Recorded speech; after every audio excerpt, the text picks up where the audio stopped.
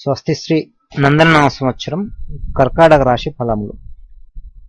పునరసు నక్షత్రం నాలుగు పాదం పుష్యమి నక్షత్రం నాలుగు పాదాలు అశ్విని నక్షత్రం నాలుగు పాదాల్లో జన్మించిన వారికి కర్కాటక రాశి. ఈ రాశి వారికి ఈ సంవత్సరం శని అర్ధాష్టమంలో సంచరించడం వలన కొంత సామాన్యంగా ఉంటుంది.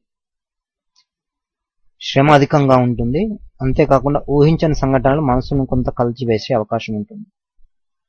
ఆర్థికంగా బాగున్నప్పటికీ దుబారా ఖర్చు ఎక్కువ అవడం వలన కొంత ఆర్థిక ఇబ్బందులు ఎదుర్కొనే అవకాశం ఉంటుంది. ప్రయాణాల్లో అప్రమత్తంగా ఉండటం మంచిది. వాహనాలు కొనుగోలు ఈ సంవత్సరం అంతగా అనుకూలం కాదు. అయితే గురువు అనుకూలంగా ఉండడం వలన పారిశ్రామిక రంగంలో ఉండేవారికి వ్యాపార రంగంలో ఉండేవారికి ఆర్థికంగా మంచి లాభదాయకంగా ఉంటుంది. నూతన ప్రాజెక్టులు కానీ కాంట్రాక్టులు కానీ ఈ సంవత్సరం వారికి అందుబాటులోకి వస్తాయి. శ్రమాధికంగా చేయవలసి వస్తుంది. అలాగే ప్రభుత్వ ప్రైవేట్ ఉద్యోగస్తులకు అనుకూలంగా ఉంటుంది.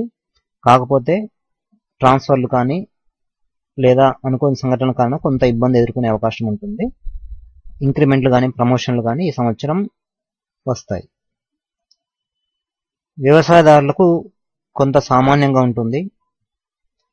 కాబట్టి పంటల విషయంలో కానీ వీరు కొంత జాగ్రత్త వహించడం అవసరం. అర్ధాష్టమ శని కారణంగా విద్యార్థులు కొంచెం ఎక్కువ శ్రమ పడాల్సి వస్తుంది.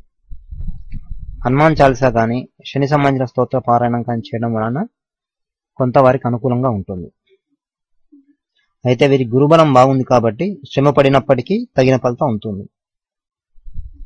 కొంత జాప్యాన్ని సహించాల్సి రావచ్చు.